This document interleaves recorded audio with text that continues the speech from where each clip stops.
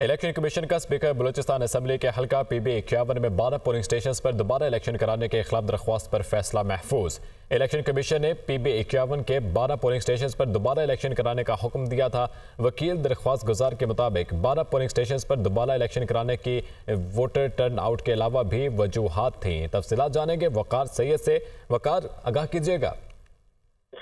जी, बिल्कुल, ये speaker Balochistan captain retired Abdul Khaliq की, के हल्का में जो बारह पोलिंग स्टेशन है, उस पर दोबारा इलेक्शन कराने के मुतलिक जो सुप्रीम कोर्ट की हिदायत थी, उन्होंने ये दरख्वास्त यहाँ पर ट्रांसफ़र की थी उस पर समाप्त हुई जिसमें जो दरख्वास्त गुजार के वकील है, उन्होंने कहा कि कई हल्कों में वोटर जो टर्न आउट है, वो गैर फिक्री तौर पर जो है वो ज़्यादा रहा, जबकि बारह पोलिंग स्टेशन पर दोबारा इलेक्शन कराने के अहकाम जो है वो इलेक्शन कमीशन ने ही दिए थे, क्योंकि है कई हल्कों में जो निन्यानवे फ़ीसद वोट जो है वो कास्ट हुए हैं, ज़्यादातर वोटर जो टर्न आउट का मतलब ये नहीं कि पोलिंग के दौरान सिर्फ़ बढ़ी हुई है, बल्कि जो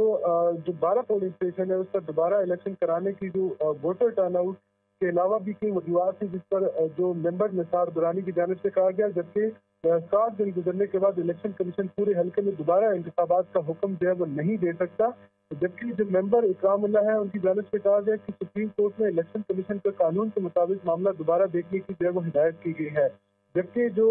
स्पीकर बलूचिस्तान असम्बली के वकील हैं, उनकी जानब से कहा गया कि साठ रोज गुजरने के बाद इलेक्शन कमीशन इस केस की समाप्त दोबारा नहीं कर सकता। जबकि जो मेंबर पंजाब है, उनकी जानब से क्या कहा कि अगर ये बात है तो सुप्रीम कोर्ट ने ये मामला इलेक्शन कमीशन को क्यों भेजा? जबकि जो स्पीकर बलुस्तान असम्बली है, उनके वकील ने ये भी कहा कि एन ए दो सौ छियासठ में भी ज़्यादा तनासब से वोट डाले गए लेकिन वहाँ पर दोबारा इलेक्शन जो है वो नहीं कराया गया। सुप्रीम कोर्ट ने स्पीकर बलुस्तान असम्बली की मौसमी का फैसला जो है वो कलदम करार दिया है, जबकि किसी फरीक ने पी बी इक्यावन के मुकम्मल हल्के पर इलेक्शन दोबारा कराने के कोई इकदाम जो है वो इब्तदा नहीं की थी जबकि इलेक्शन कमीशन ने इस मामले को इलेक्शन कमीशन जो। है वो भिजवा दे ताकि वो इस मामले को देख सके। जिस पर जो इलेक्शन कमीशन है ठीक है वकात बहुत शुक्रिया आपका।